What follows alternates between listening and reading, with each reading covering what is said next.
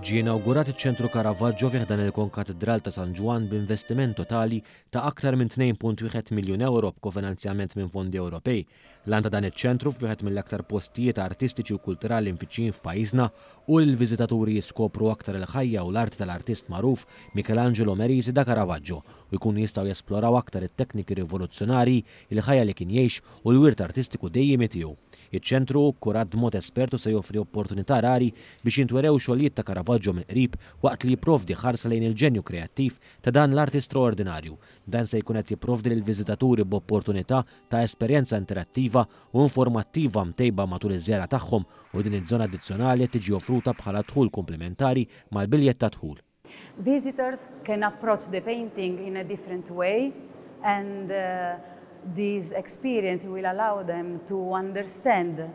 little details that are not visible from a certain distance once they enter in the oratory. Il-Ministru għall-Arti, Wirt Nazzjonali, l-Arti u l-Gvern Lokali, Owen Bonnici, spjega li l-fatt li din iż-żona addizzjonali se tkun qed tiġi offruta bħala dħul kumplimentari bl-istess pass ta' biljett tad-dħul Ifisser li se tkun qed tiġi msaħħka l-esperjenza sabiħa li wieħed jgħaddi minnha meta jżur dan il-ġojjel arkitettoniku. Bis-saħħa ta' dan l-investiment qegħdin nkabbru l-esperjenza għal milijiet ta' eluf ta' turisti li jiġu hawnhekk fil-Konkatidral ta' San Ġwann u jammiraw is-sbuħija tal-kwadri ta' dan il-pittur famuż Caravaggio. Min-naħa tiegħu l-President tal-Fondazzjoni tal-Konkatidral ta' San Ġwann Glenn Micallef sostna kif tali investiment hu l-iprem eżempju tal-ħidma li qed tagħmel din il-Fondazzjoni biex ittejjeb l-esperjenza ta' dawk li jżuru San Ġwann. Dan l-investiment li inawgurajna llum hija esperjenza ġdida li se tkun qed iżżewweġ it-teknoloġija flimkien mal-arti u l-kultura u toffri esperjenza ġdida lill-viżitaturi ta' dan il-maqdes, il-viżitaturi li jiġu